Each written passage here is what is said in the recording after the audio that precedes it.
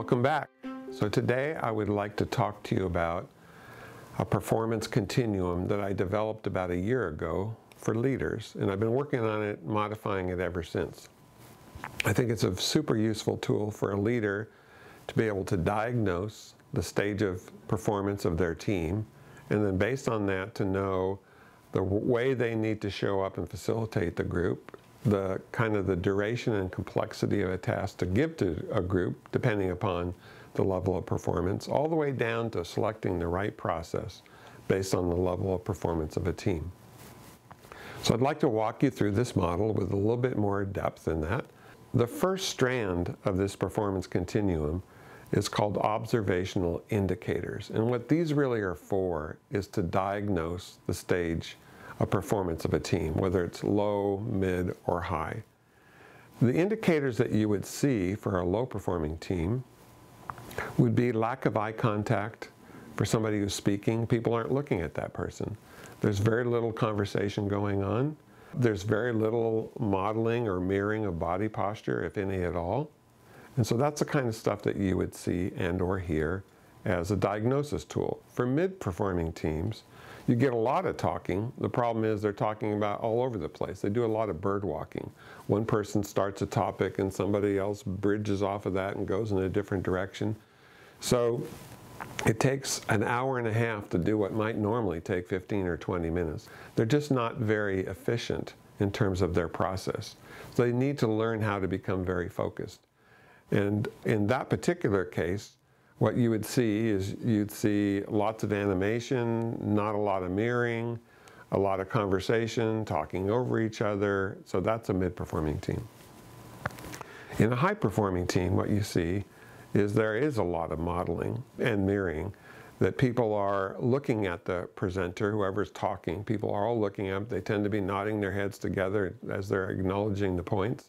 They ask a lot of clarifying questions before other people come in with their opinions. And there's just a lot of synchrony. You can just see it. They're in a flow with each other. So those are the indicators that allow you to diagnose where you are. Once a leader has determined at what level of performance, then they need to show up differently based on that level of performance. So for example, with a low performing team, a leader actually needs to be very active in managing the dynamic that's causing the team to be lower functioning, such as uh, dominant personality in the group. The goal of the facilitative leader is to prevent them from talking so much, capture their point, and then focusing the attention on other people in the group. In some cases, you need to move from managing the behavior to actually isolating the behavior, is to in a way, once you've acknowledged this point, is to eliminate that person from participating for quite a while. So you literally kind of isolate them from the conversation. That's a more extreme situation.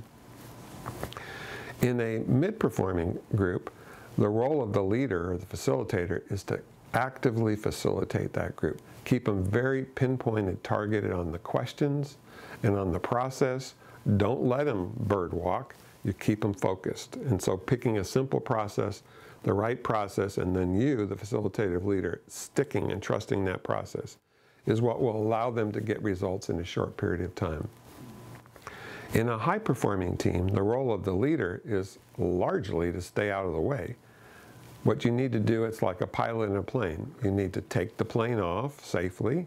And so in a typical group, that is telling them what you've done before this meeting, what the outcomes for this meeting will be, what process is going to be used, and then you kind of get out of the way, and then you need to land the plane at the end of the meeting. Landing the plane is summarizing what's happened, what the agreements are, what the next steps are, what the pre-work will be for the next meeting. That's the role of a leader in a high-performing teams. We all want high-performing teams. That's a take-home message in almost every one of my presentations.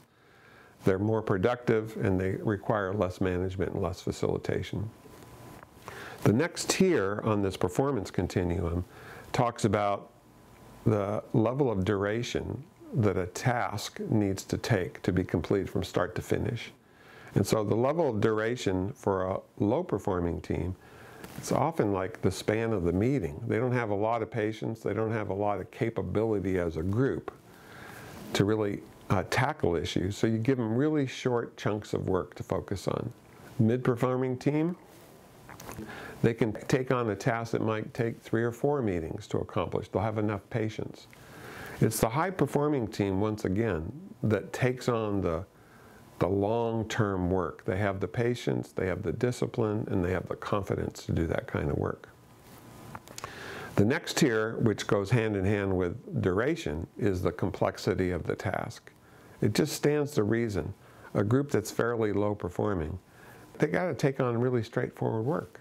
They, they're not, they're capable as individuals, but in their team dynamic, they're not capable of taking on anything more than what's straightforward that often wouldn't even be necessary to have a group conversation. But by taking it on, it's like training wheels for the group. It allows them to see that they can actually be capable of taking on a topic. You're actively managing. They're not crazy. They just have some group dynamics to get in their way. And so by taking on a straightforward issue, they actually can get some results. A mid-performing team, they can take on what's called complicated work. Complicated work is still dealing with small parts, but multiple strands or strategies of small parts that need to be well choreographed and timed one to the next. And it's the high performing teams that can take on the truly complex work. Complexity and complex work has to do with issues that involve culture, issues that involve multiple departments or teams, where there's a lot of dynamics across that need to be considered, where the whole of the system needs to be considered in the work. That's complex work. And all the way down at the bottom of this performance continuum, you get down to what process is best for lower performing teams, straightforward, discrete processes that have a very focused ability to get to the task. They can get that task done, that component of the work done in very short periods of time. And anybody can follow that kind of process. That's what you want to use. Processes like the discussion method, appreciative inquiry, after action review, and several others that you'll see on the chart. For complicated work, you can use all of those processes in addition to something like the workshop method or the four-step action planning process. Both of those processes are designed for complicated work, multiple strands of strategy that need to be well choreographed in terms of timing. And when you take on the complex work, that's when you need processes that really deal with the whole of systems. That's the process enneagram, mental models, or a sequence, a choreographed sequence of the simpler processes, but following the steps of the enneagram. So I've gone through this performance continuum. It allows you to diagnose where your team is, tells you what role you need to take, tells you the duration and complexity of the task, all the way down to selecting the right process to do the work. It's a great model, it's a great tool for leaders to understand. If you want to learn more about this particular model, it's written about in the book that Michael Grinder and I wrote. It's from cat herding to leadership. So check that out on the website. I hope this has been useful. It's been nice talking with you today. We'll see you again soon.